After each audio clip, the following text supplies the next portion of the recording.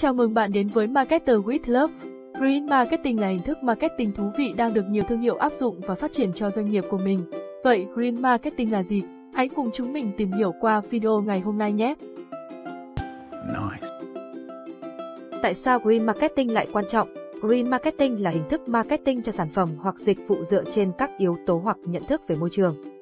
Hình thức này giúp thương hiệu nâng cao uy tín, mở rộng phân khúc đối tượng khách hàng và tạo sự nổi bật giữa các đối thủ cạnh tranh khi ngày càng nhiều người có ý thức hơn về môi trường. Hành tinh của chúng ta đang phải đối mặt với rất nhiều mối đe dọa như ô nhiễm không khí, ô nhiễm nguồn nước, vấn nạn rác thải thực phẩm.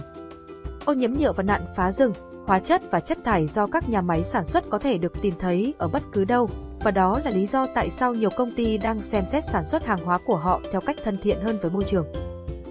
Hơn nữa, mức độ nhận thức về việc bảo vệ hệ sinh thái của người tiêu dùng ngày càng cao, họ sẵn sàng chi trả cho các sản phẩm thân thiện với môi trường cho dù giá của những sản phẩm này cao hơn các sản phẩm thông thường.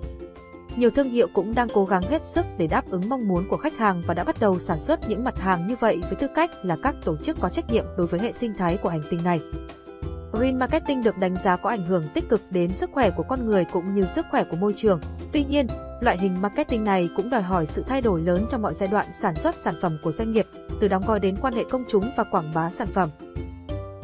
2. Lợi ích của Green Marketing Với Green Marketing, các công ty có cơ hội để thay đổi hành tinh trở nên tốt đẹp hơn, đồng thời nâng cao nhận thức của mọi người về tình hình môi trường hiện nay. Hình thức này sẽ giúp thương hiệu đạt được những lợi ích như nổi bật trong môi trường cạnh tranh ngày càng gay gắt, giảm tác động tiêu cực của sản xuất đến môi trường, tiết kiệm năng lượng, giảm việc sử dụng tài nguyên thiên nhiên và khí thải carbon, sản xuất các sản phẩm có thể tái chế, nâng cao uy tín của thương hiệu, mở rộng phân khúc đối tượng mới, đảm bảo tăng trưởng trong dài hạn. Thực hiện các hoạt động có tính đổi mới, có được một doanh thu cao hơn. Và cuối cùng sẽ là bốn chiến lược Green Marketing, thiết kế sản phẩm bền vững. Green Marketing không chỉ giống như việc thêm một biểu tượng tái chế trên bao bì sản phẩm, mà đây còn là sự thay đổi trong một vòng đời đầy đủ của sản phẩm. Thương hiệu nên chú ý đến các chi tiết trong mọi quy trình như nguồn nguyên liệu sản xuất đầu vào hoặc nguồn nhân công tham gia vào quá trình này. Tinh thần có trách nhiệm.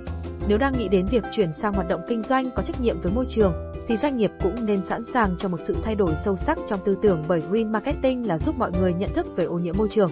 Nếu muốn chứng minh sự chân thành trong ý định thay đổi của mình, hãy suy nghĩ về cách doanh nghiệp thể hiện trách nhiệm của mình đối với hệ sinh thái và xã hội, đồng thời cho khách hàng thấy rằng thương hiệu đang thực sự quan tâm đến sức khỏe của hành tinh.